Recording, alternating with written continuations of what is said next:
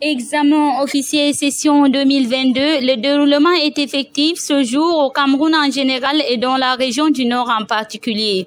Au sous-centre du lycée technique de Garoua Bibémiré pour le probatoire sciences technologies du tertiaire, un abrégé probatoire STT, deux filières ont participé dans cet établissement, dont les élèves de la classe de première action et communication administrative et ceux de la classe de première en comptabilité et gestion. Dans ce lycée, l'on note la présence des élèves du lycée technique de Nassarao, le lycée technique de Garwa Djamboutou ainsi que les élèves du lycée technique de Garwa Bibémiré, d'où ces élèves nous racontent comment ils ont passé les premières épreuves. Nous avons bien débuté de composer les premières épreuves et ça a été bien pour moi par rapport à l'année dernière et nous allons bien réussir.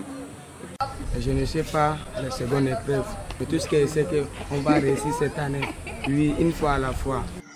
Pour le déroulement de ces épreuves, M. Samari Joseph, chargé de mission venant de l'extrême nord, était sur le lieu et nous raconte. Nous avons deux spécialités qui composent dans ce sous-centre. Nous avons les AK, Action et Communication administrative, et les CG, Comptabilité et Gestion. En AK, nous avions 53 candidats, dont 52 présents, un absent. En CG, nous avons 171 candidats, dont 169 présents et deux absents. Dans la même lancée, ils sont nombreux ces élèves de classe de 4e année à affronter les épreuves écrites obligatoires du CAP STT industriel. Ces élèves, quant à eux, nous rassurent que la première épreuve a été abordable. Bon, la première épreuve était passable. nous tous, nous avons bien composé, si je pense. Et par la grâce de Dieu, ça va bien aller.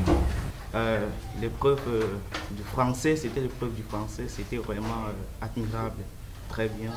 Pour en finir, le probatoire et CAP STT entameront avec les épreuves pratiques lundi prochain.